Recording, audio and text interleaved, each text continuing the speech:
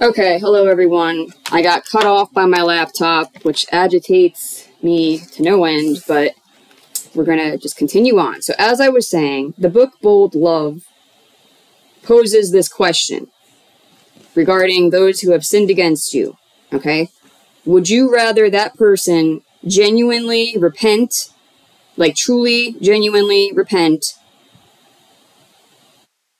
make amends with you, reconcile with you, rebuild trust with you, you know, do a 180, turn around, make a U turn? Would you rather that? Or would you rather them receive the punishment that they deserve, which may mean them going to the lake of fire? That is the heart level question to be asked. And hopefully, the answer that you come up with, the answer that you find in your heart, is that you would rather them genuinely repent. You would rather them genuinely be in right standing with God and in right standing with you. And that's a matter of the desire of the heart. And if you're tr- if you are in right standing with God, then your desire regarding that person will be aligned with His. And we know what His desire is because it says that He wishes that none shall perish. So that's the question. You have to dig deep down beneath your self protection, which really is a matter of not trusting God. Okay? and realize that deep down you would rather see this person repent. You would rather reconcile with this person. You would rather them truly, genuinely repent and that there be peace, that there be love and reconciliation and trust. Okay? Let me read this to you again. Your expectations are high. Soon your perception will change. The new normal is not what you can manage without my strength. Again, apart from him, we can do nothing. No one is making a priority of finding friends. You're going to need true friendship. People are isolating. This is against my will. Forsaking is not appropriate unless you've been abused. The new laws will prevent gatherings. Fellowship is necessary. Stop holding grudges. Repent, apologize, reconcile.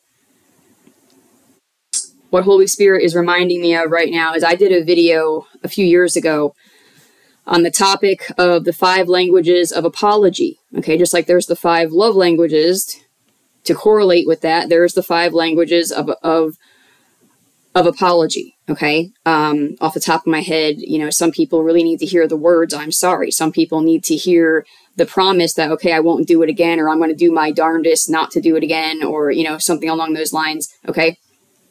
Um, so I will put that link to that video in the description box below and or the comments below because uh, YouTube lately is giving me a hard time with putting links live links in the description box, depending. Um, the Lord has been prompting that you know there's there, there's just certain themes that he just keeps harping on because it's so important and fellowship is one of them okay we know from scripture that we are body soul and spirit okay our body needs certain things you know we have to eat and drink certain things to get nutrients for the health of our body we need to be in right standing with god of course but you know, that's the body level and the spirit level, but on a soul level, the Lord tells us in His Word, we need, how He created us, how we are hardwired is we need fellowship. We need friendship. We need companionship. Okay? God Himself is a triune being. Okay? He said to Adam, it's not good for man to be alone. That's why He created Eve. Okay? And, I, am not here to harp on uh, kingdom marriage and all that right now, but I mean, that that is, you know, marriage is the, the, the foundation of marriage, of course, is uh, friendship and companionship. Okay. Um, but we need fellowship. And, you know, it, there's just, it, it says in God's word, you know, that we are to love one another, submit to one another, be kind to one another, exhort one another, um, even correct and rebuke one another. That's necessary at times. Um, you know, we are to encourage each other and build each other's faith up and lift each other up, you know, with encouragement and testimonies. You know, we will overcome by the blood of the Lamb and the word of our testimony, okay? People are not fellowshipping these days. or they think they have found their clique and they stick to that and you you can't grow that way you need people that are going to challenge you okay? And I, and god has shown me that what people are doing is they're they're either isolating so that they're completely alone on purpose or they're sticking to people that don't challenge them. People that don't challenge them don't question them don't ever rebuke them or correct them because they don't want to deal with their junk. They don't want to repent. They don't want to examine themselves. They, they want to stay comfy cozy in their sin Appreciate when God sends you a true friend who's going to sit you down to deal with your junk. Appreciate that because it's going to help you grow. It's going to help you get promoted in the kingdom and go from glory to glory. It's going to help make sure that you're in right standing with God regarding your salvation.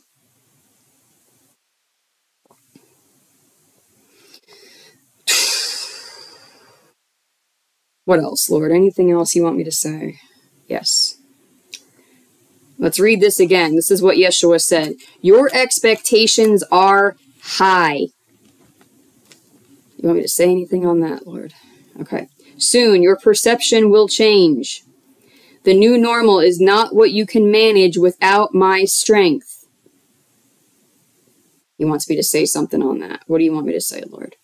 The new normal is not what you can manage without my strength, says the Lord, says Yeshua. His strength. His strength is made perfect in our moment of weakness because that's when we turn to Him. And if you have not been submitting to His convictions and His promptings, don't be surprised if you're about to go through some fires because we're we're in the sorrows right now and we are no longer at the beginning or even the middle of the sorrows. We're now heading into like the end of the sorrows. Okay? In terms of the last seven years the sorrows are the, fir- are the first three and a half years. Judgment punishment is coming and god will allow and or orchestrate things to bring you to your knees so that you learn to depend on him and if you have been resisting that and refusing it, I can guarantee you that that's going to happen. Okay? For years, I resisted God. I refused. I resisted. Um, it was like a standoff between God and I. How I used to describe it was like playing like chess, even though I, I, I don't know how to play chess. but, but it was like, you know, I, that's how it felt to me. It felt like this, um, this just like standoff of like, you know, God and I both having like our arms crossed. And he actually sent someone to me years back and said that they had a vision and they said, Well, what I saw was you got your arms crossed, but he's got his arms wide open waiting for you. And I didn't really believe it. I didn't, uh, you know, my heart wasn't sensitive to that at that time, but now it almost brings me to tears.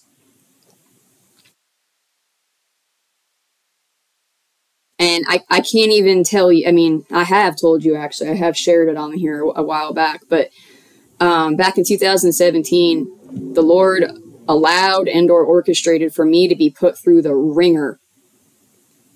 I learned very quickly to be dependent on him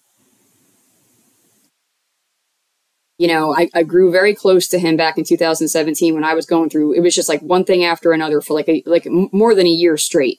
And then just recently, you know, o- over just the last few years here, like I have not just learned to like seek him and, and, you know, give him more of my attention and my time and, um, you know, just my worship, my submission, but I have really learned the last few years being homeless for over being predominantly homeless for more than two and a half years now, I have really learned to trust God. I have really learned like deeper than ever to depend on him and to trust him that I can depend on him. That he is who he says he is, he is trustworthy, and he will make a way, and all that's required of us is to get ourselves right with him. As it says in his word, if we keep his commands, if we keep his precepts, if we submit, if we do things His way, instead of our way, instead of what way makes sense to us.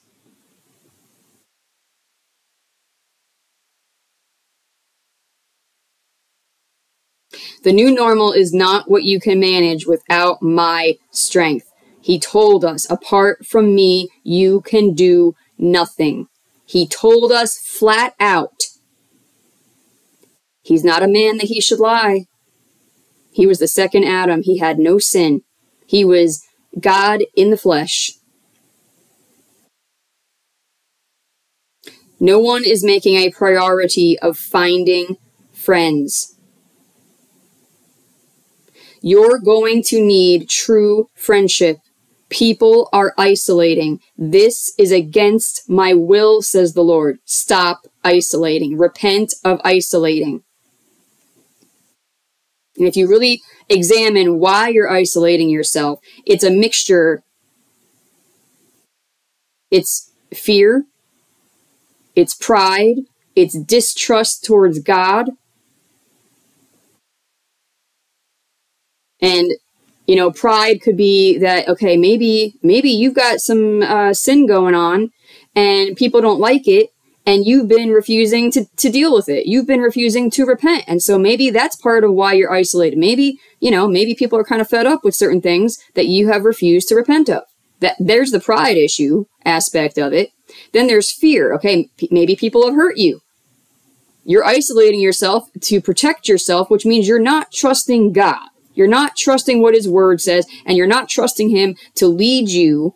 You're not trusting him to give you discernment to lead you to know, okay, I can trust this person, I can't trust this person, this person's safe, this person isn't, and so forth.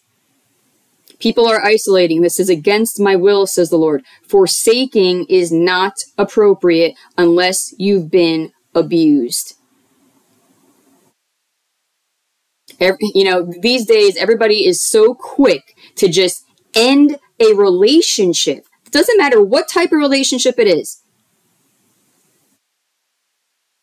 I remember a couple years ago, there was someone who came into my life, and this person more than once ended our friendship abruptly, just boom, out of nowhere, because we were having a little friction. I just got a text message, okay, well, I'm done, you know, and, like, and, and that was it. That, that, that is not how we're supposed to act as a Christian. That is not how we're supposed to treat each other. That is not brotherly love. That is not humility. Everyone's so quick to just end relationships, block people on their phone, block people on the internet, whatever. People are so quick to, you know, jump to conclusions, make negative assumptions instead of being vulnerable, instead of saying, hey, why don't we have a phone call or a video call or even better yet, meet up in person if we can? Why don't we, you know, make um, some some effort here to find out what's really going on here? And remember that you have an enemy. Remember that Satan is always trying to divide people. Sit down and and, and make I feel statements. I feel hurt right now because such and such and such. I feel sad right now because such and such and such. I feel aggravated. I feel frustrated. Pick an emotion. Okay, you can go on the internet and just type in emotion wheel. This is stuff that I went over on the channel a few years ago. Okay, type in emotion wheel and figure out what emotion you're feeling. Okay, get better at identifying your own emotion. And then sit down with the person and say, okay, I feel such and such. There's a teaching that I did a while back on a method called the uh, the timeout. Maybe I'll link that below as well. Okay, a timeout. It doesn't matter if you're dealing with a romantic partner, a friend, a family member. Okay. Now, granted, you have to discuss this with them before you get into a fight, so that both people will abide by this. But you know, okay, you you start triggering each other and then one person says, okay, I need a timeout. Not you need a timeout, but I need a timeout. This way you're not escalating things, okay? I need a timeout, and you take one hour. You take one hour, and then you come back into communication, and you take that hour to cool down. You take that hour to pray as a Christian, right? To, to invite Yeshua in to speak to you about what's going on. Is it something on your end? Is it something on their end? Is it something on both ends? Do both of you need to repent? Does somebody need to apologize? Does somebody need to humble themselves? Okay.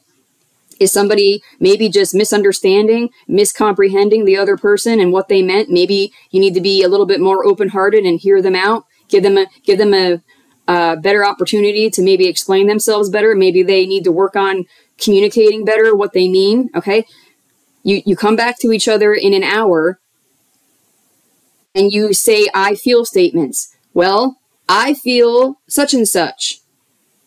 I feel sad. I feel frustrated. I feel, you know, angry. I feel threatened. I feel disrespected. Whatever the case may be. And you you talk about it, you be vulnerable and you try to figure it out and work together. Forsaking is not appropriate unless you've been abused. Now, yes, technically, again, abuse is is is, is, is a, a spectrum, and we have to make boundaries with people, healthy boundaries that you're not going to tolerate being lied to, you're not going to tolerate, you know, what, whatever, and then you have to stand by that. But you know, you also have to be as a Christian, you have to be willing to talk, figure it out, try to work it out. The new laws will prevent gatherings. The Lord recently had me post a message on here not too long ago saying that your time for fellowship is almost up. This is what he's talking about. He's talking about how, you know, lock to the down is coming and it's going to be worse than 2020. It's going to be more strict.